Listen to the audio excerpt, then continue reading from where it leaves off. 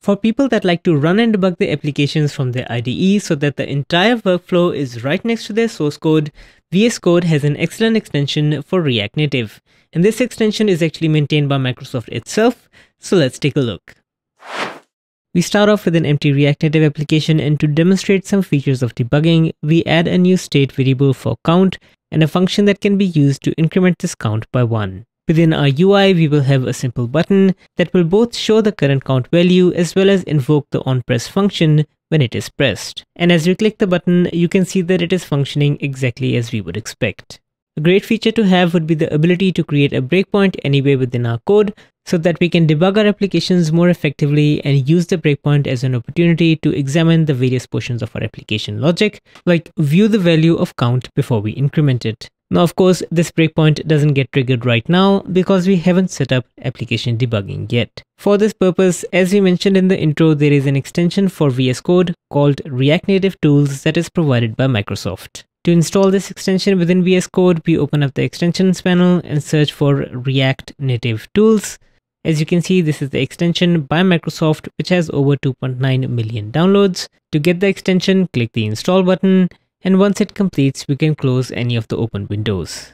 Now this extension is going to create some temporary files while it's going to be debugging our code and it's going to be creating them under the .vscode.react folder. So it's a great idea to ignore this .react folder, which we can do from the .gitignore file so that we don't end up accidentally committing some garbage files.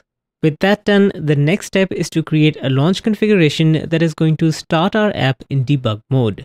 We can do that from the debug panel click create launch.json file, select React Native, and this extension provides a number of launch configurations, but we're going to select debug iOS because that is what we are going to be demoing in this lesson.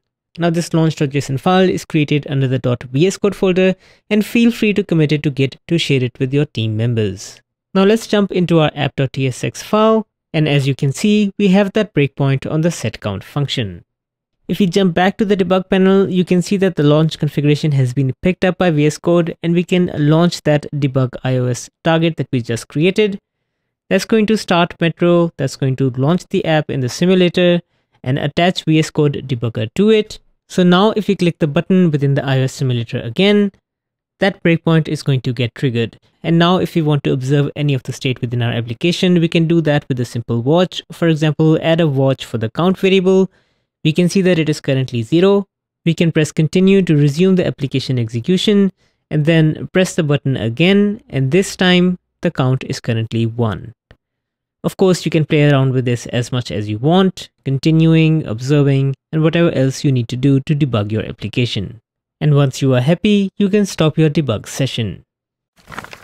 Now, of course, there is a lot more to this extension as well as debugging within VS Code in general, but hopefully you saw some of the power of this workflow in this lesson.